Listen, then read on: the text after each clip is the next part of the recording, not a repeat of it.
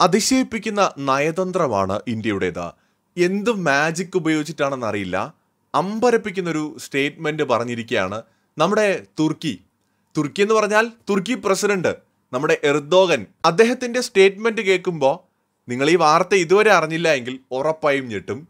അതായത് നമ്മുടെ തുർക്കി president U N സുരക്ഷാ കൗൺസിലിൽ ഭാരതത്തിന് സ്ഥിരാംഗത്വം ലഭിക്കണമെന്ന് പറഞ്ഞിരിക്കുകയാണ്. ഭാരതത്തെ ഓർത്ത് ഞങ്ങൾക്ക് അഭിമാനമാണ് എന്ന് അദ്ദേഹം പറഞ്ഞിരിക്കുകയാണ്. ഐക്യരാഷ്ട്രസഭയുടെ രക്ഷാസമിതിയിലെ സ്ഥിരാംഗത്വത്തിനായിട്ട് ഇന്ത്യ കുറെ കാലമായി ശ്രമിക്കുന്നുണ്ട്. അതിനുള്ള പിന്തുണ പ്രഖ്യാപിച്ചിരിക്കുകയാണ് തുർക്കി. വിശ്വസിക്കാൻ ബുദ്ധിമുട്ടുണ്ടോ? എന്നാൽ സത്യമാണ്. സത്യമായ കാര്യമാണ് തുർക്കി പ്രസിഡന്റ് ഇന്ത്യയ്ക്ക് പിന്തുണ പ്രഖ്യാപിച്ചിരിക്കുകയാണ്. ആദ്യം ഇതൊന്ന് കണ്ടപ്പോൾ സത്യത്തിൽ ഞാനും ഒന്ന് നുള്ളിയൊക്കെ നോക്കി. ഇതൊക്കെ ഇനി വല്ല സത്യമാണോ സ്വപ്നമാണോ എന്നൊക്കെ. എന്തായാലും ഒരുപാട് അന്താരാഷ്ട്ര മാധ്യമങ്ങൾ ഇത് റിപ്പോർട്ട് ചെയ്തിട്ടുണ്ട്. അദ്ദേഹം അങ്ങനെ തന്നെയാണ് പ്രസ്താവനയിൽ പറഞ്ഞത്. അതായത് സ്ഥിരാംഗത്വത്തിനായിട്ടുള്ള ഇന്ത്യയുടെ പരിശ്രമങ്ങൾക്ക് പൂർണ പിന്തുണ നൽകുന്നുവെന്നാണ് ജി ട്വന്റി ഉച്ചകോടിക്ക് ശേഷം തുർക്കി പ്രസിഡന്റ് പറഞ്ഞത്. ഭാരതത്തെ പോലെയുള്ള ഒരു രാജ്യം യു എൻ സുരക്ഷാ സമിതിയിൽ ഉള്ളതിൽ ഞങ്ങൾ അഭിമാനിക്കും. China France Russia U K America എന്നീ രാജ്യങ്ങൾ മാത്രമല്ല അതിന്റെ ഭാഗം. ഐക്യരാഷ്ട്രസഭയിലെ മുഴുവൻ അംഗരാജ്യങ്ങളും സുരക്ഷാ സമിതിയുടെ ഭാഗമാണെന്നാണ് ഞങ്ങൾ കരുതുന്നത്. നൂറ്റി തൊണ്ണൂറ്റിയഞ്ച് അംഗരാജ്യങ്ങൾക്കും ഭാഗമാകാൻ കഴിയുന്ന ഒരു റൊട്ടേഷൻ സംവിധാനം സുരക്ഷാ സമിതിയിൽ രൂപീകരിക്കണമെന്നാണ് ഞങ്ങളുടെ ആഗ്രഹം. എ എൻ ഐക്ക് നൽകിയ അഭിമുഖത്തിലാണ് എർദോഗൻ ഇക്കാര്യങ്ങൾ വ്യക്തമാക്കിയത്. യു എൻ സുരക്ഷാ കൗൺസിലിനെ കുറിച്ചുള്ള പരാമർശത്തിന് പുറമെ തുർക്കിയും ഭാരതവും തമ്മിലുള്ള വ്യാപാര ബന്ധത്തെക്കുറിച്ചും തുർക്കി പ്രസിഡന്റ് സംസാരിച്ചു. ദക്ഷിണേന്ത്യ കേന്ദ്രീകരിച്ചുള്ള തുർക്കിയുടെ ഏറ്റവും വലിയ പങ്കാളിയാണ് ഭാരതം.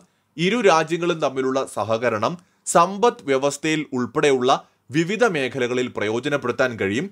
വിജയകരമായ ജി ട്വന്റി അധ്യക്ഷ പദവി വഹിച്ച ഭാരതത്തിന് നന്ദി പറയുന്നുവെന്നും എർദോഗൻ അഭിമുഖത്തിൽ പറയുന്നുണ്ട്.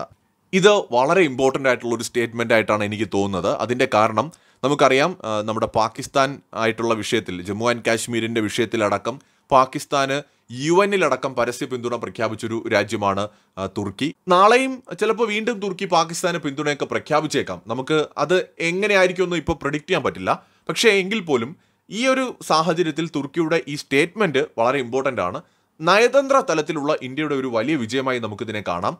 കാരണം ഒരു ഘട്ടത്തിൽ നമ്മളെ തള്ളിപ്പറഞ്ഞ നമുക്കെതിരെ ഗുരുതര ആരോപണം ഉന്നയിച്ചൊരു രാജ്യമാണ് തുർക്കി. അതായത് ഇന്ത്യ ന്യൂനപക്ഷങ്ങളെ അടിച്ചമർത്തുന്നു. കാശ്മീരിൽ വലിയ രീതിയിലുള്ള അക്രമങ്ങൾ ചെയ്യുന്നു എന്നൊക്കെ പറഞ്ഞ് ആരോപിച്ച തുർക്കി ഇന്ന് ഇന്ത്യ ഓർത്ത് അഭിമാനിക്കുന്നു എന്ന് പറയുമ്പോൾ അതൊരു വലിയ അംഗീകാരവും വിജയമായി നമുക്ക് കാണാം.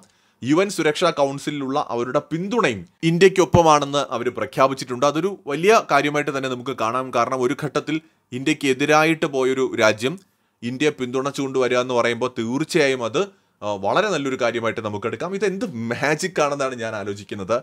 ഈ ഡിപ്ലോമസിയുടെ കാര്യത്തിൽ ഇന്ത്യ വേറെ ലെവലാണ് കേട്ടോ. ശരിക്കും നയതന്ത്ര ശക്തി എന്ന് ഇന്ന് ഉറക്കെ വിളിക്കാൻ പറ്റുന്ന ഒരു രാജ്യം ഭാരതം തന്നെയാണ്.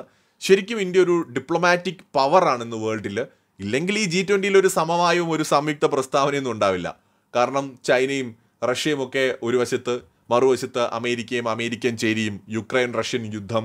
ഒരിക്കലും ഒരു സമവായം ഉണ്ടാവില്ല എന്ന് എല്ലാ മാധ്യമങ്ങളും അല്ലെങ്കിൽ നയതന്ത്ര വിദഗ്ധരുമൊക്കെ വിധി എഴുതിയ സമയത്താണ് ഇന്ത്യ ഒരു സമവായത്തിലേക്ക് എത്തിക്കുകയും ഒരു സംയുക്ത പ്രസ്താവന ഇറക്കുകയും ചെയ്തത് സോ ഇന്ത്യൻ നയതന്ത്രം എന്ന് പറയുന്നത് അത് വേറെ ലെവലാണ് ശരിക്കും ഒരു ഒരു നയതന്ത്ര ശക്തി തന്നെയാണ് ഇന്ത്യ. അല്ലെങ്കിൽ തുർക്കി ഒന്നും ഇങ്ങനെയൊന്നും പറയില്ലെന്നേ. ഇതൊക്കെ ഒരു ചില്ലറ കാര്യമാണോ? അപ്പോൾ ഒരു സമയത്ത് നമ്മളെ എതിർത്ത രാജ്യങ്ങൾ പോലും ഇന്ന് നമ്മളെ പിന്തുണയ്ക്കുന്നു എന്ന് പറയുന്നത് ഒരു ചെറിയ കാര്യമല്ല. പ്രത്യേകിച്ച് യു എനിലെ സ്ഥിരാംഗത്വത്തിനുള്ള പിന്തുണ ശരിക്കും ഷോക്ക്ഡായി പോയി ഞാൻ ആ വാർത്ത കണ്ടപ്പോൾ ശരിക്കും ഒട്ടും എക്സ്പെക്ട് ചെയ്തില്ല. പല രാജ്യങ്ങളും പിന്തുണ പ്രഖ്യാപിക്കും. പക്ഷേ തുർക്കിയുടെ കാര്യത്തിൽ ഒരു ശതമാനം പോലും പ്രതീക്ഷ ഉണ്ടായിരുന്നില്ല പക്ഷേ തുർക്കി പ്രസിഡന്റ് തന്നെ അത് പറഞ്ഞു എന്ന് കേട്ടപ്പോൾ വളരെ സന്തോഷം.